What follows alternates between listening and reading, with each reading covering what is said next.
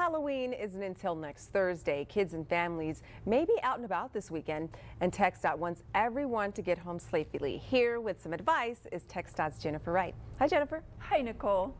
This weekend, expect parties and trunk and treats ahead of Thursday night's trick-or-treating.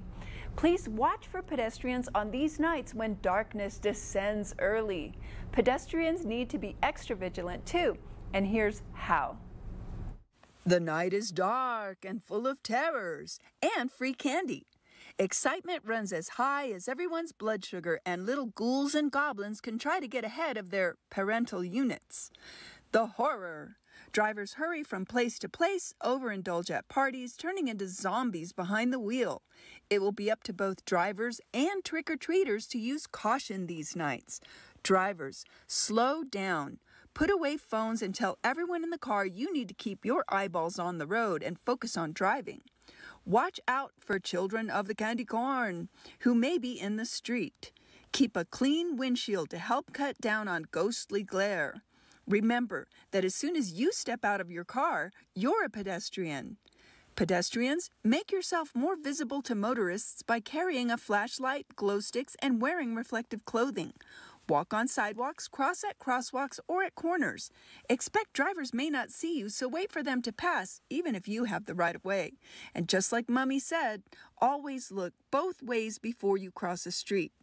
Talking or texting while walking is a no no, especially when escorting little ones.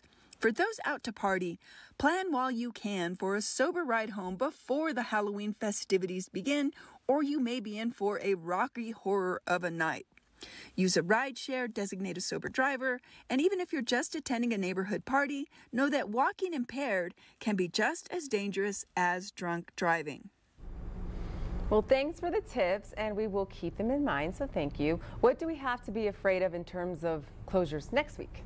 Well, not too scary as far as project closures next week. In fact, we've actually canceled any nighttime closures on Halloween.